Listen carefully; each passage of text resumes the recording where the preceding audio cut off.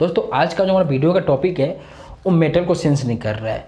तो जो कंपनी है बजाज कंपनी है, जिसका मॉडल नंबर है आई सी एक्स इक्कीस, ये टच पैड इंडक्शन है। इसमें एक्चुअली प्रॉब्लम आपको मैं बता रहा हूँ। सबसे पहले ये हमारा मेन पीसीबी हो गया।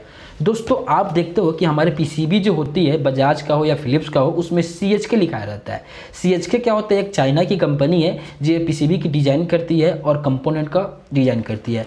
तो सबसे पहले क्या होता है दोस्तों कि इसके अंदर में आप देखोगे कि क्या करते हैं? जब तक डिस्प्ले कंट्रोल पैनल को ऐड नहीं करते हैं, तब तक क्या होता है कि हमारा डिस्प्ले नहीं आता है या बजर का आवाज़ नहीं आएगा। तो सबसे पहले मान लीजिए यहाँ पे मैं लगा रहा हूँ तो आप देखेंगे कि बजर का आवाज़ नहीं आ रहा है। क्यों नहीं आता है?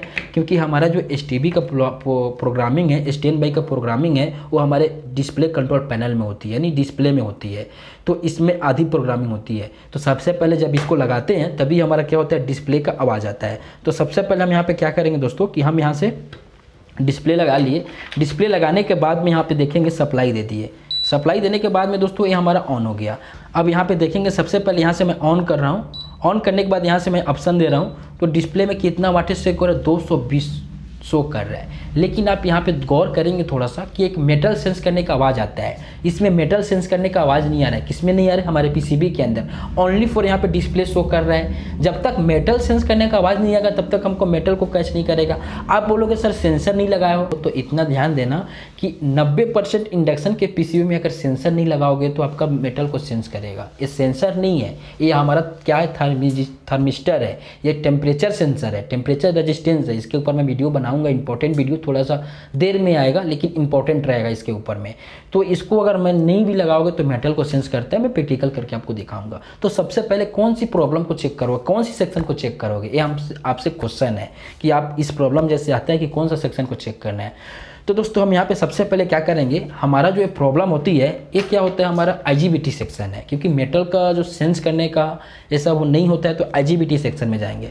तो हमको हर बार आपको मैं हर वीडियो में ये बताता हूँ कि दोस्तों, जो हमारा क्वाइल का दो पॉइंट देखते हो, एक क्वाइल का इनपुट होता है क्वाइल का आउटपुट होता है, ये दोनों पॉइंट के पल्स के लिए रजिस्टेंस लगे रहते हैं। ये जब तक रजिस्टेंस में पल्स नहीं आएँगे तब तक क्या होगा? यहाँ पे मैग्नेट नहीं बनेगा। यानी समझ लो, हमारा, आपको मैं बता रहा हूँ।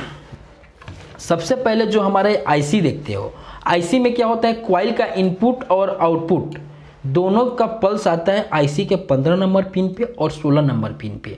जो आपको मैं फिलिप्स कंपनी का वीडियो को प्रोवाइड कराया था, उसको आप ध्यान में देना। उसी की सेम जैसा होता है ओके इसमें एक्चुअली क्या होता है कि दोस्तों, जब तक क्वाइल के जो इनपुट होता है, आउटपुट होता है, पंद्रह नंबर और सोलह नंबर पे एक से दो वोल्ट आता है। तो समझ लो, आईसी के पास पल्स मिलने लगा। अब तीसरा, जैसे ही पल्स मिलेगा, वैसे क्या होगा? तीसरा हमसे यहाँ से पल्स आउट होगा। दो पल्स इन होता है, तीसरा पल्स आउट होता है, किसके लिए होता है? हमारा जो यहाँ पे पल्स विथ मॉड्यूलेशन के लिए एस ट्रांजिस्टर देख रहे हो, तीन ट्रांजिस्टर लगा हुआ है, इसको क्या करेगा? पल्स देगा। जब यहाँ से पल्स देगा तो यहाँ से हमको क्या करेगा? ड्राइव वोल्टेज बन के आई के गेट पे जाएगा। जब गेट पे जाएगा, तभी आईजीबीटी स्विचिंग करेगा, तब जाके क्वाइल में अपना इलेक्ट्रोमैग्नेट फोर्स बनता है। ये चीज़ को आपको थियोरिकल बन गया, मैं आपको बता दिया। अब इसके लिए आपको चेक करने के लिए सबसे पहले क्या करना पड़ेगा? एक मल्टीमीटर लेना पड़ेगा आपको, जो आपके पास होती है, जो आपको क्या करना पड़ेगा? 1000 डीसी के मोड में सेलेक्ट करना पड़ेगा। और सेलेक्ट करने के बाद मैं आपको हर बार बताता हूँ कि ऐसे कैसे चेक करेंगे ओके अब दोस्तों, सबसे पहले मैं इसको सप्लाई दे दिया। सप्लाई देने के बाद मैं डिस्प्ले कंट्रोल पैनल को मैं बाहर रखा हूँ। जब भी आप इस प्रॉब्लम रिपेयर करते हो तो डिस्प्ले कंट्रोल पैनल को यहाँ पर मत लगाओ। मैं आपसे हर बार बोलता हूँ। और इसमें बजर का आवाज़ नहीं आएगा क्योंकि आपको पहले मैं बता चुका ओके अब क्या चेक करना है? मल्टीमीटर को 1000 के मोड में रख लिया। 1000 के मोड में रखने के बाद में सबसे पहले IGBT के कलेक्टर पॉइंट होता है। आपको मैं बता चुका हूँ कि IGBT कलेक्टर जो होता है, बीच में होता है, पहला स्टेप और दूसरा, उससे क्या होता है? सिल्वर जो होता है, यहाँ पे हिटसिंग देखते हो कनेक्ट रहता है, ये वाला हिटसिंग तो अब क्या करेंगे? इसमें सबसे पहले सप्लाई चेक कर लेते हैं। यहाँ पर हम सप्लाई चेक करते हैं तो हमको कितना वोल्ट मिल रहा है? तीन छप्पन वोल्ट मिल रहा है, यानी सॉरी तीन सौ सत्ताईस वोल्ट मिल रहा है। तो तीन वोल्ट मिल रहा है ये ओके हो गया। अब क्या करते हैं, क्वाइल के समझ लो, इनपुट और आउटपुट पॉइंट सही है, क्योंकि क्वाइल के ही माध्यम से हमारा आई कलेक्टर पे सप्लाई आता है। अगर क्वाइल आप निकाल दोगे तो सप्लाई नहीं आएगा, ओके? अब यहाँ आने के बाद में क्या होगा? अब जो हमारा रजिस्टेंस बचा रजिस्टेंस को चेक करेंगे। उससे पहले क्या चेक करेंगे? आप बताओ, आप लोग बताओ, सोचो, समझो क्या चेक करेंगे। हम यहाँ पे चेक कर लिए मेटल सेंस नहीं कर रहे तो क्या चेक करेंगे? कहाँ पे चेक करेंगे? थोड़ा देर सोचो और समझो वीडियो को पुश करके वहीं पे और मेरे को आंसर दो। तो दोस्तों, अब चलो मैं आपको बता रहा हूँ, सबसे पहले आपको बता चुका हूँ कि जो आईसी होती है, इसका भी डाटा शीट सेम है फिलिप्स जैसा है। आपको सी एच के कंपनी का पहले ही बता चुका हूँ। तो सबसे पहले इसके पंद्रह नंबर पिन और सोलह नंबर पिन तो सोलह नंबर पिन पे सबसे पहले दो वोल्ट चेक करना है। सोलह नंबर पिन पे दो वोल्ट आ रहा है। फिर पंद्रह नंबर पिन पे दो वोल्ट चेक करना है यहाँ से तो दो वोल्ट नहीं आ रहा है। तो क्या होता है? रजिस्टेंस प्रॉब्लम होती है। तो सबसे पहले कौन सी रजिस्टेंस खराब होगी हम यहाँ पर चेक करेंगे। तो दोस्तों, यहाँ पर हम देखेंगे सबसे पहले हमारा ए वाला रजिस्टेंस हो गया। इसमें सप्लाई चेक कर लेंगे। यहाँ पर चेक कर लिए, फिर यहाँ पर चेक कर लिए, फिर यहाँ पर चेक कर लिए। फिर यहाँ पे चेक कर लिए। ये देखिए, यहाँ पे चेक कर रहे हैं, लेकिन यहाँ पे वोल्टेज ही नहीं आ रहा है। यहाँ पे वोल्टेज आना चाहिए। हर रजिस्टेंस में वोल्टेज आना चाहिए। एक से दो वोल्ट एक से दो वोल्ट तीन वोल्ट चार वोल्ट जितना। अब मान लीजिए यहाँ पे वोल्टेज आ रहा है, यहाँ पे भी वोल्टेज आ रहा है, यहाँ पे मार्क कितना आ रहा है? दो सौ इकहत्तर, दो सौ चौहत्तर, फिर यहाँ पे भी तो आना चाहिए। तो इसका मतलब क्या है कि ये रजिस्टेंस ओपन है ओके तो हम यहाँ क्या करेंगे? रजिस्टेंस को बाहर निकाल लेते हैं। कितने का रजिस्टेंस है? दो सौ के रजिस्टेंस है। दोस्तों, हमने यहाँ पे क्या किया? यहाँ पे 200 का रजिस्टेंस लगा था। यहाँ से मैं रजिस्टेंस को बाहर निकाल लिया हूँ। अब बाहर निकालने के बाद क्या करेंगे अपने मल्टीमीटर को? 200 के मोड यहाँ पे हमारे मल्टीमीटर में है। ये देखिए, यहाँ पे है। तो हम यहाँ पे क्या करेंगे? आसानी से यहाँ पे चेक कर सकते हैं। रेजिस्टेंस को चेक कर सकते हैं। तो हमारे यहाँ पे कोई वैल्यू शो नहीं कर रहा है। तो कहने का मतलब कि हमारा रेजिस्टेंस ओपन है। अगर हमारा रेजिस्टेंस सही रहता तो क्या होता? कुछ ना कुछ यहाँ पे डिजिट शो करता। 180 190 ऐसा शो करता, हमारा रेजिस्टेंस सही था। तो हम क्या करेंगे? सेम रेजिस्टेंस अब आपको आता है कि, सर, दो सौ के रेजिस्टेंस मार्केट में मिलता नहीं है। तो आपको क्या करना पड़ेगा? पुरानी से पुरानी पी भी। हम भी नया नहीं लगाएँगे। हम भी हमारे पास स्टॉक में पुराना पी उसमें से दो सौ के निकालूँगा और आपको लगा के बताऊँगा, जैसे ये हमारे पास ये वाला रजिस्टेंस इसमें से निकाल के आपको बता रहा हूँ ओके अब दोस्तों, मैंने यहाँ पे क्या किया हूँ? रजिस्टेंस निकाल लिया हूँ। 200 के रजिस्टेंस यहाँ पे देखेंगे। तो अब मल्टीमीटर को 200 के में है। अब यहाँ पे क्या करूँगा? चेक करूँगा। यहाँ से मैं रख लिया और यहाँ से रख लिया। तो यहाँ पे देखेंगे रजिस्टेंस का कुछ ना कुछ वैल्यू शो करेगा। यहाँ पे देखते हैं। तो यहाँ पे कितना शो कर रहा है? एक चेक कर शो कर रहा है ओके अब यहाँ पे क्या करेंगे? हम 200 के में 2000 के में सेलेक्ट कर देते हैं। और यहाँ से हम प्रॉपर चेक कर लेते हैं यहाँ पे कितना शो कर रहा है। यहाँ पे देखेंगे हमको ये कितना शो कर रहा है।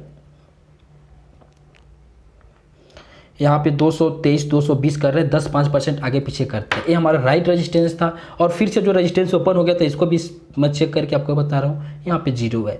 तो अधिकतम क्या होता है दोस्तों कि 80 परसेंट तो रजिस्टेंस ही खराब होता है। तो आप इस चीज़ को ध्यान देना है और आपको समझना है ओके दोस्तों, अब हमने क्या किया? रजिस्टेंस को लगा दिया। रजिस्टेंस लगाने के बाद में सप्लाई भी दे दिया सीरीज़ में। सप्लाई देने के बाद में दोस्तों, हमारे पंद्रह नंबर पिन पे कितना वोल्ट नहीं आ रहा? दो वोल्ट नहीं आ रहा था।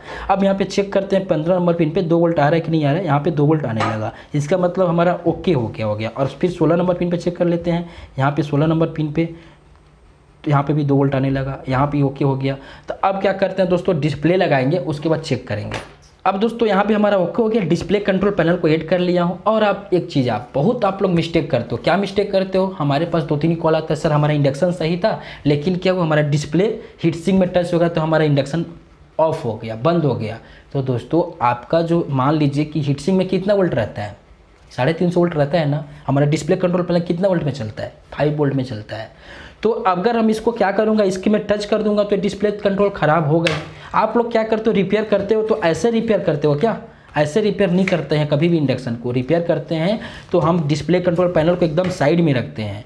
जब हमारा रोके हो जाएगा तभी हम डिस्प्ले कंट्रोल पैनल को लगाते हैं चेक करने के लिए। तो आपको मिस्टेक नहीं करना है। हर वीडियो में आपको बताता हूँ, थोड़ा सा आपको ध्यान देना है। अभी हम क्या करेंगे? सबसे पहले दोस्तों, यहाँ से मैं सप्लाई देता हूँ सीरीज़ में। सप्लाई देने के बाद में आवाज़ आ गया। अब यहाँ से मैं ऑन करता हूँ। ऑन करने के बाद में ऑप्शन दे रहा हूँ। 220 आ रहा है। अब देखना।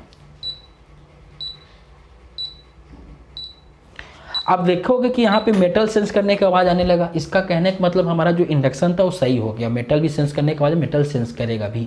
तो दोस्तों, अगर आपको मान लो कि घर बैठे इंडक्शन का कंपोनेंट चाहिए, आपको मार्केट में इंडक्शन का कंपोनेंट नहीं मिल रहा है और ओरिजिनल कंपोनेंट चाहिए तो आपको क्या करना पड़ेगा? सबसे पहले यहाँ पे ध्यान देंगे। आपको कुछ नहीं करना पड़ेगा। नीचे में तो लिंक दे दिया हूँ। डायरेक्ट लिंक से जाके आप वहाँ पर जा सकते हो। या आपको क्या करना पड़ेगा? गूगल खोलो। गूगल खोलने के बाद दोस्तों, वहाँ पर राज इंडक्शन को सर्च करो। जैसे ही वहाँ पर राज इंडक्शन सर्च करोगे तो वहाँ पे मेरा एक वेबसाइट खुलेगा। वेबसाइट खुलने के बाद दोस्तों, आपको यहाँ पे जाना है शॉप नेम में जाना है।